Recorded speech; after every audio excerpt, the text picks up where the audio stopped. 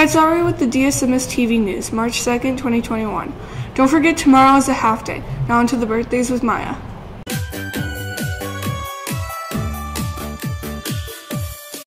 Hi DSMS, it's Maya with the birthdays. There are no birthdays today, but tomorrow's birthdays are Stephanie Marcus, Joshua Akers, Cinia Bonner, AJ Pila, Riley Voinovich, Mr. Moore, Mr. Hartzell, and Mrs. O'Boyle. Now to Kate with the lunch. It's time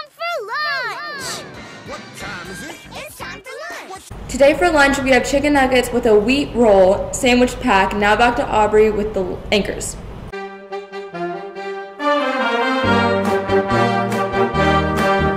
I'm back. Why did John throw the clock out of the window? Because he wanted to see time fly. That's all for now, DSMS, and have a wonderful day.